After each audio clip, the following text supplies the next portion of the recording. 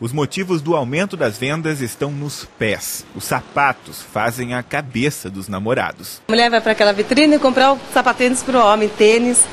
Homem ah, vem para essa vitrine pegar a bota para a mulher. Nessa loja em Piracicaba, o Dia dos Namorados é a terceira melhor data para as vendas. Por conta do inverno, para as mulheres, as botas ganham destaque.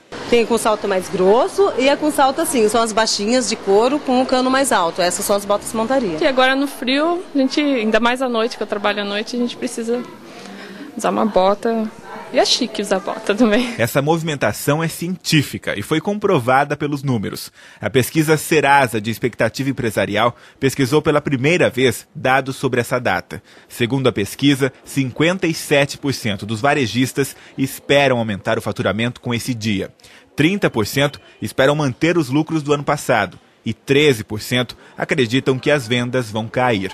Na análise regional, o Sudeste está em terceiro lugar, com 56% de boas expectativas. Os pesquisadores descobriram também até quantos namorados estão dispostos a gastar um com o outro.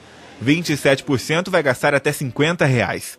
39% até 100 reais, 25% até 200, 6% entre 201 e 300 reais, 2% até 500 reais e apenas 1% vai gastar mais de 500 reais. O que tem chamado a atenção é o tipo de presente. Livros, celulares e eletrônicos têm crescido na preferência de quem pretende presentear. Não tão modernas, mas nem menos tradicionais. A pesquisa aponta também que as flores continuam sendo preferência de 12% dos namorados.